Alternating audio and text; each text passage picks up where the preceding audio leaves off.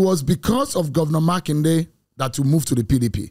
Yeah, because of the administration, the administration has been able to show, you know, to the people that their policies are people oriented. And like I always say, they say politics is all about the interest.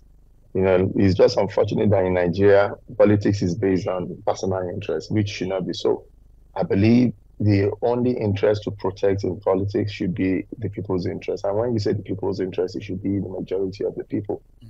And um, Governor Shema in this policy has been uh, developing, you know, the masses and also making sure that life, you know, is easy for them.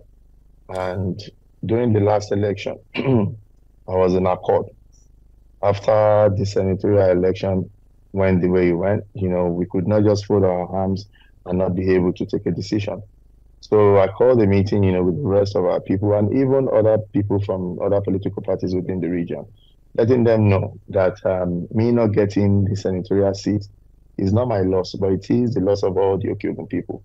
And at that time, we had three people contesting, which is Governor Seyi Makinde from PDP, uh, uh, Senator Teslim Folarin from APC, and also uh, Chief Bayo Adelabu in Accord. And these three people, they are all from Ibadan.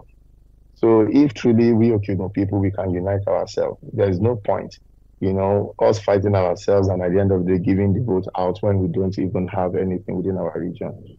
So we decided to x-ray all these three candidates and to see who is best, you know, for the Oke-Ogun people. And it was crystal clear mm. that uh, in the history of governance in Oyo State, there is no governor that has shown the love and support for Oke-Ogun people. And the only thing that we could do at that time is to reciprocate.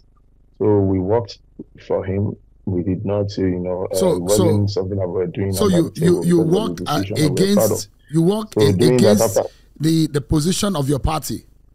You work you didn't work what? for the Accord Party candidate. You worked for the PDP in the last governorship election. Yes,